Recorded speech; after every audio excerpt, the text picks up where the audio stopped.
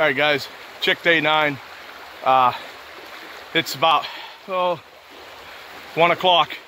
Uh, I hunted uh, rifle for deer this morning and uh, I'm gonna check my traps and I'm gonna pull this line until after rifle season's over. All right, guys, come along.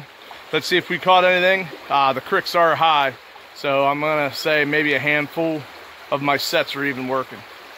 All right, let's see what we get.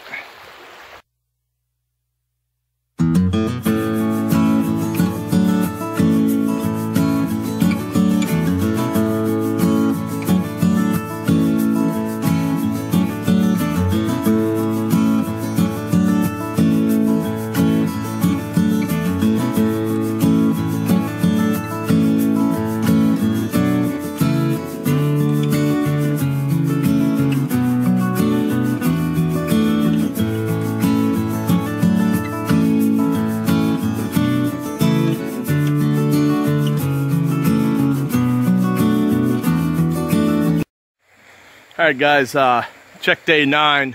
Uh, I told you about the levels on this. I was uh, gonna pull my sets uh, until after rifle season. If you look right over there, right in the center, I got a uh, raccoon in that DP. He tore that place up. looks like he's a muddy mess. I'll have to go back and get my uh, little Crickett 22 and uh, we'll finish him off. All right, let me uh, go see if I've got anything else on uh, these uh, traps. All right, guys, uh, that last bridge uh, right there is probably a working set. It's got nothing in it. That one there is jam clogged, nothing in it. And that one there was washed down. I did find it right here.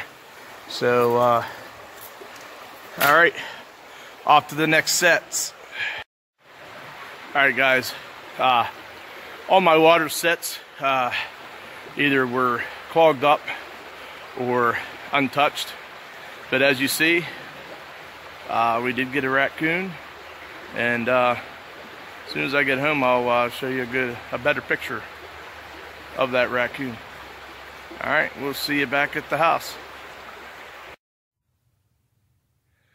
All right, guys. So there's that raccoon. It is a boar. Uh, it's not the silver, it's more of a brown, but it is our first raccoon.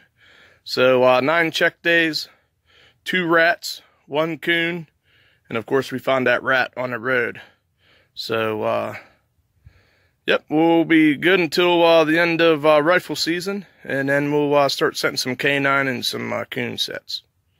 All right, guys. Thanks for watching. Uh, please, if you haven't subscribed, hit that subscribe button.